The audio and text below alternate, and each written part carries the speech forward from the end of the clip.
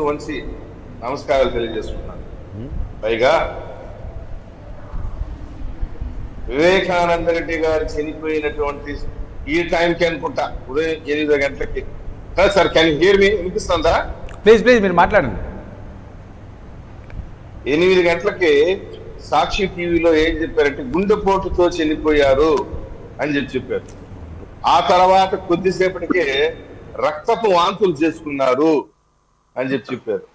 ఆ తర్వాత మధ్యాహ్నం పదకొండున్నరకి ఆ ప్రాంతంలో నారాసుర రక్త చరిత్ర సాక్షి ఛానల్లో చంద్రబాబు నాయుడు గారు బీటక్ రవి గారు ఆదినారాయణ రెడ్డి గారు లోకేష్ బాబు గారు బోడేగిరి దూకి మా- మా చిన్నాన్నని చంపేశారు. ముర్రో ఏడ్చినాడు. మన ముఖ్యమంత్రి ఇప్పుడు ముఖ్యమంత్రి అప్పుడు ప్రతిపక్ష నాయకుడు. నేను సూటిగా ప్రశ్నిస్తున్నాను. ఏమయ్యా ఒక బాధ్యత గల ప్రతిపక్ష నాయకుడుగా ఉన్నావు? ఆ? ఇప్పుడున్నటువంటి ఎంపీ అవినాష్ రెడ్డి నిన్న ప్రెస్ మీట్ పెట్టాడు. దానికి కూడా సమాధానం చెప్తాను.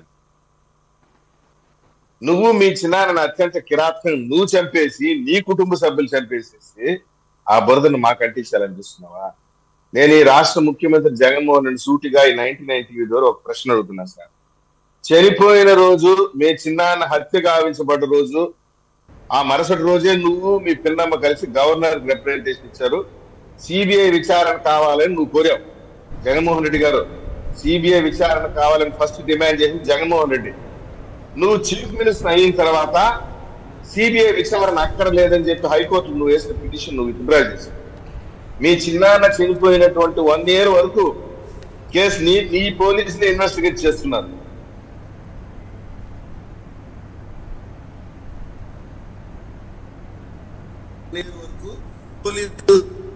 ఇన్వెస్టిగేట్ చేస్తున్నారు.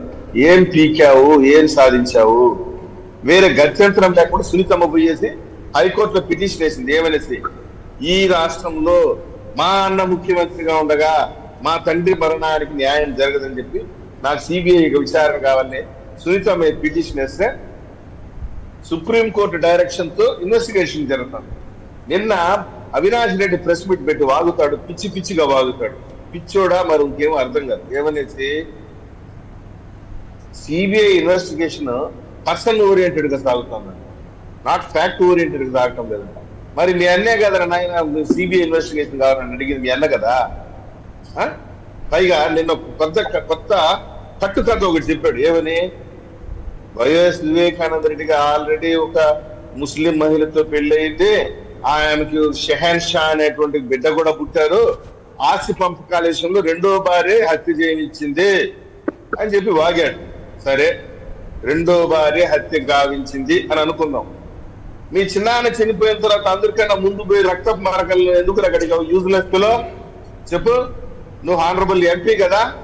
మీ చిన్నాన్న చనిపోతే నువ్వు చేయాల్సిన ప్రథమ కర్తవ్యం ఏంది ఒకటి పోలీసులు సమాచారం ఇచ్చి ఉన్నటువంటి ట్యాంపర్ కాకుండా చూడాల్సిన బాధ్యత నీ పైన ఉంది. నువ్వు పోయి రక్త మార్గాలు అడిగావు నువ్వెందుకు కుట్లేపించావు చెప్పు. Answer my question honourable MP మీ చిన్నాన్నని నువ్వు చంపలేదు. రెండో భార్య పిల్లలు చంపారు. లేదు ఇంకొకరు చంపారు అని అనుకుందాం. నువ్వు అర్జెంటుగా అక్కడికి వెళ్ళి రక్త మరుగులు మరకలను కడగాల్సిన అవసరం ఏమి వచ్చింది? చనిపోయిన శవానికి కుట్లేయాల్సినటువంటి కర్మ ఏం పట్టింది నీకు? గాయాలన్నీ పూలతో చక్కగా అలంకరించవలసిన అవసరం ఏమి మీ మీ చిన్నాన్న చనిపోయిన నాలుగేళ్ళకు మళ్ళీ ప్రెస్ మీట్ పెట్టి ఇవన్నీ చెప్పాల్సిన అవసరం ఏమి వచ్చింది? చెప్పు. సరే ఇంకోటి కూడా చెప్తానబ్బా. అవినాష్ రెడ్డి గారు ఆనరబుల్ ఎంపీ. నేను ఇంకో క్వశ్చన్ కూడా అడుగుతున్నా. నువ్వు ఏదైతే నేను చెప్పావో మా చిన్నాన్ననే రెండో భార్య హత్య చేసింది. లేదు ఆస్తి తగాదాల వల్ల హత్య జరిగారు. ఇంకొకటి ఇంకోటి అంటున్నావు కదా. ప్రెస్ మీట్ పెట్టి వాగే బదులు కోర్టులో పిటిషన్ వేసుకోపో. కోర్టుకి చెప్పుకోపో అవన్నీ. Bring it to the notice of the court writ petition ఏం తెలియదు నీకు హానరబుల్ ఎంపీగా మీ ఇప్పుడు సిబిఐ ఒక విషయం సార్ వర్మ సార్. ఒక వ్యక్తిని ఆషామాషిగా రిమాండ్ కోరగలరు కోరలేరు సిబిఐ వాళ్ళు. ప్రైమా ఫేసి ఎవిడెన్సెస్ ఉంటేనే ఒక మ్యాజిస్ట్రేట్ ముందున ఒక వ్యక్తిని ప్రొడ్యూస్ చేసి ఇతని హత్యానేరంలో భాగస్వామ్యం ఉంది. ప్రైమా ఫేస్ ఎవిడెన్స్ ఉంటేనే they can demand remand for accused ఆషామాషిగా దారిలో పోయి దానయ్యనో లేకుండా సప్తగిరి ప్రసాద్ అరెస్ట్ చేసి తీసుకుపోయి చూపించలేరు అక్కడ. ప్రైమా ఫేసి ఎవిడెన్స్ టోటల్గా గూగుల్ టేక్అవుట్లో హత్య జరిగే దానికి ముందు నిందితులందరూ భాస్కర్ రెడ్డి ఇంట్లో ఉన్నారు. హత్య జరిగిన తర్వాత నిందితులు కూడా భాస్కర్ రెడ్డి ఇంట్లో సమావేశమయ్యారు. రాత్రి మూడు గంటలకి అవినాష్ రెడ్డి భారతమ్మ పిఏకి ఫోన్లో మాట్లాడాడు. ఇప్పుడు ఇవన్నీ ఒకసారి బాగా క్యాల్కులేట్ చేయండి. ఫస్ట్ వాచ్మెన్ రంగాన్ని పిలిపించి విచారించారు. రంగాన్న ఇచ్చిన స్టేట్మెంట్తో దేవిరెడ్డి శివశంకర్ రెడ్డి అంట వాడంట వీడంట ఈ దొంగలన్నీ పట్టుకొచ్చారు. ఆ తర్వాత వాళ్ళ పిఏలు పట్టుకొచ్చి వాళ్ళ పిఏని అరెస్ట్ చేశారు.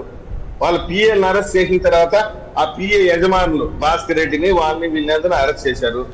ఈ రోజు రేపు అవినాష్ రెడ్డిని అరెస్ట్ చేశారు. అవినాష్ రెడ్డి గారు ఇచ్చిన స్టేట్మెంట్ బేస్ చేసుకొని బిగ్ షాట్స్ బిగ్ ఫిషెస్ హత్యకి నిజమైనటువంటి సూత్రధారులు ఎవరునో వాళ్ళ పట్టు రావడం ఖాయము. నిజం నిప్పు లాంటిది. నిజం కొన్ని రోజులు నిద్రపోతుంది కానీ చనిపోదు. ఇది నిజము.